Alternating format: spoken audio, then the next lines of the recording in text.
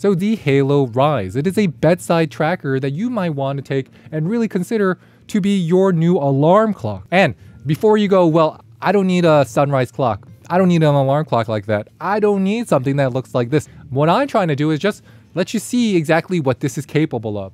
Because when you look at it, it is not, uh, you're not like, whoa, that's like the future, right? You're not like, oh my God, they made this super amazing uh, alarm clock that just is so futuristic. Well, it does look futuristic, but these are the these are the specific things that this does. Well, you're going to be having it connected to your Wi-Fi. So this is Wi-Fi because you're going to be able to connect to it via the Alexa app. Or in this case, you're going to be also be able to connect it to the Halo app. And the Halo app is going to give you a lot of information that this is going to be able to detect based on your sleep patterns because there's sensors in here and those sensors are going to monitor how you sleep.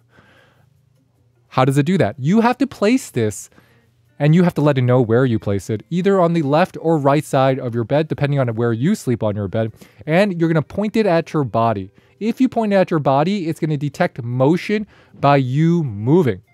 Not like your wristwatches or these digital watches that are going to be detecting movement, but just on your arm. This is going to be really looking for your entire body. So what did I notice about using it? You also can use this as a alarm clock that rises with you, but also makes a sound so that you don't miss the alarm. Because I know a lot of people are worried about getting a sunrise clock because what if you cover your face with your pillow or a blanket? What if you throw something at it and it just knocks it on the floor? This is not making any noise, so you can't turn it off uh, or you can't really, you don't even know it's on. So the secret here, I've just turned it on and this is at this peak setting. And this is the light intensity that's really ultimately waking you up. So if I'm sleeping and I have something this, you're going to keep it about an arm's length away. So it's about an arm length away. And if I have something this bright shining in my face, no matter what, I find that I'm going to wake up. But it doesn't in a gradual way. So when you are in a light sleep period, so when it detects that you are kind of starting to get up. It's going to start, and it's close to the alarm time, it's going to start gradually increasing the intensity of this light. Currently, this is the settings that we have.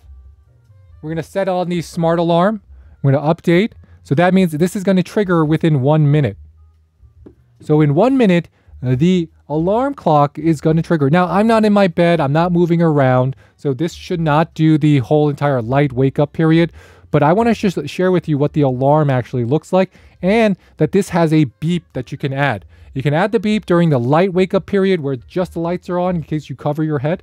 You hear this beeping?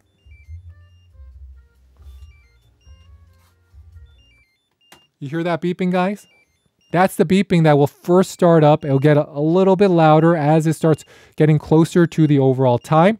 You can notice that the lights are automatically getting brighter the noise is getting a little bit louder so that you cannot wake up past the alarm. Second, the light is going to wake you up more gently if you don't want the alarm.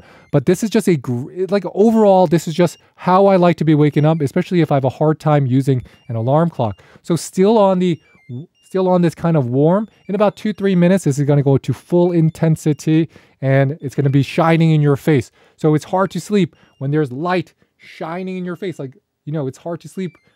This is not even at middle or high intensity. You can just keep seeing how it gets brighter and brighter. We're gonna we're gonna turn off the and put it on snooze, or you could just turn off the alarm completely. So that's gonna turn off the alarm completely. It's an alarm clock that tracks your sleep. It has the sunrise clock. It has the alarm beep, and it has the ability for you to turn on the.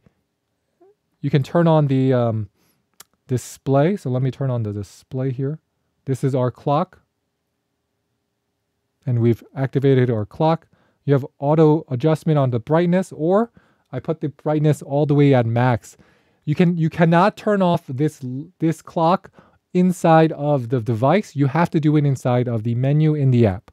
So it works in the background. So, you know, you have nothing to wear. Uh, you have nothing to charge. I can't always use my smartwatches to sleep track because I got to take them off to charge. So that night I lose that information. This is always going to be with you at all times. It comes with the uh, Halo membership for six months currently. Um, that is already like a 18 $21 credit that they're giving you. Uh, it's up to you if you want to continue it. I find that let me show you what I mean. On the top of your on the top of your screen here, that is your Halo data. So if I was to select my Halo, I can also go to my settings. So I can adjust my alarm clock there. I have my notifications. It can let me download my health data. It has the account linking. It has Alexa tricks. So the, they also give you instructions on how to use your Halo, like how Halo Rise tracks your sleep, where to place the Halo Rise, how to get the best results with your Halo, how to use the wake up light, how to set a smart alarm, how to use the Halo Rise with Alexa. So they give you all this information directly inside of the app, but the secret of the Halo is going to be right here, actually. So when you connect to the Halo and you connect to it here, you're going to have the accessibility. You're going to select where, what side of the bed. You're going to select the clock brightness, if you want the clock to show or not. You want the time zone, and let me show you what I mean here. So currently, there is no clock that is showing on my Halo. So here's some data that I have recorded using my Halo. You see my average sleep score, you see my average time of sleep, you see my average time awake, and you see my figures. Compared to my smartwatch, the Halo gave me about one hour hour less per of well, let's be honest. It gave me what it actually recorded one hour less of sleep per night. It recorded me getting out of bed better. It recorded me moving around better. Me just waking up and trying to fall back asleep better than my smartwatch. Because as long as I'm inactive on my smartwatch and my heart rate is pretty level, it thinks I'm like sleeping. While this, I could be sitting up, I could be moving around. It will already detect that and then it will say I'm not sleeping. So that is some some important differences between a Halo sensor and a watch sensor. But this is the Halo Rise. Place the device on the side of your bed to collect sleep data. Choose if you're facing the bed. So I normally sleep on the right side of my bed. So I normally sleep on the right side, so we're going to say we're on the right. So it's going to be on the right side. Make sure the device's metal stand is the same height up to 8 inches above your mattress, so that is fine. Face the device towards your upper body, avoid changing the angle. So one thing you want to know, let's get everything in place. So you want to angle this, you want to angle the halo rise towards your upper body. Avoid changing the angle for accurate results.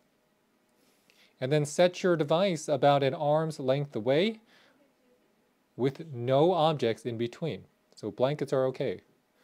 Connect your device to the Halo app. So we're going to connect to it, plug your device in. It shows that it's pairing, so we're in the pairing mode now. Now we're connected. New Light Halo Rise Band to control it. You can say things and activate it using the Alexa app as well. So wake up, refresh with the Halo Rise. The wake up light stimulates a the wake up light simulates a natural sunrise. Halo Smart Alarm measures your sleep cycle and rings in your light sleep stage. So how does Smart Alarm work? If you set an alarm for 7 a.m., Halo Smart Alarm will begin monitoring your sleep cycles at 6.30 a.m. with the goal to wake you up at the last possible light sleep stage prior to 7 a.m. If no light sleep stage is detected the 30, in the 30 minute window, the alarm will just ring normally. So it's looking for when your body is communicating to say, well, I'm most likely to easily wake up at this specific moment. So we got it. Wake up refreshed. When would you like to set up your bedtime? We're going to edit this for 6.30 a.m. Perfect. So if you're trying to decide, is this the right device for you? I do think you should try it out.